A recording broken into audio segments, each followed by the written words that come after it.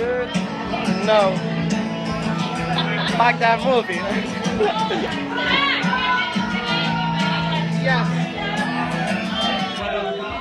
Today is gonna be the day that the devil will it back to you.